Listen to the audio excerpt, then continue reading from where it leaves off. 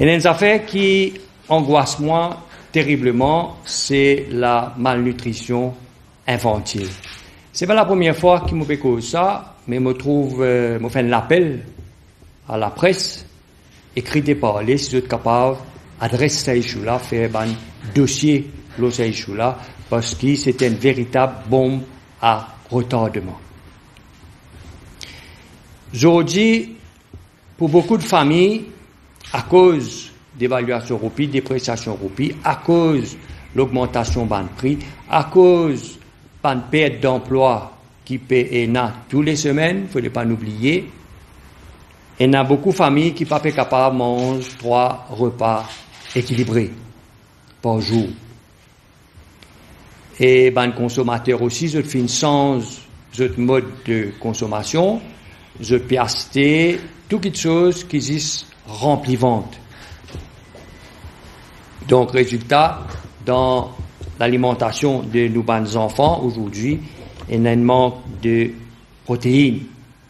Et nos enfants, c'est les premières victimes de la politique du gouvernement par rapport à sa politique économique. Malheureusement, les enfants peine un droit de vote. Parce que si je tiens un droit de vote, suis confiant que ce gouvernement-là, tu peux venir comme dans mesure euh, targeted spécifiquement pour les enfants. Euh, mais malheureusement, étant donné je peine un droit de vote, donc tout le monde met le gouvernement met à côté, le gouvernement n'a pas pris compte. Résultat de sa politique du gouvernement qui peut ignorer la malnutrition infantile dans le pays, ce résultat il peut avoir une conséquence irréversible d'ici 2030. Irréversible parce que le retard de croissance de ces enfants-là, qu'il est physiquement, qu'il est intellectuellement, c'est un enfants qui peuvent affecter à vie pas pourquoi pas faire rien, irréversible ça. Et sa situation-là, ce résultat, il pour créer plus d'inégalités sociales, la pauvreté pour augmenter et le sous-développement étendre partout dans le pays.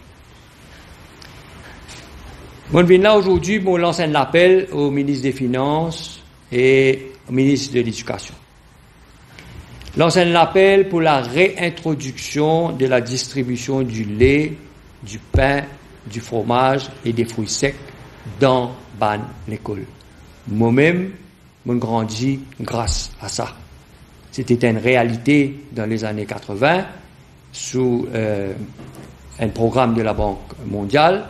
C'est un programme qui fait arrêté dans les années 2000, 2001-2006 à peu près, par l'ancien ministre des Finances, Ramasistanen, qui fait arrêter ça pour arrêter gaspillage. Aujourd'hui, c'est pas un gaspillage, ça. Aujourd'hui, nous besoin trouver les moyens pour nous nourrir nos enfants correctement. Aujourd'hui, l'État, le gouvernement, a un devoir, a une responsabilité envers ces enfants-là, parce que si pas fait d'ici 2030, sa population active qui nous peut, nous peut besoin pour nos croissance économique, sa population active qui nous pour besoin pour nous capables soutenir la pension pour payer les personnes âgées, sa population active là, il point une population fragile, il point une population malade, donc non productive. Nous besoin agir aujourd'hui. Parce que sinon, il n'a pas fait, c'est la catastrophe.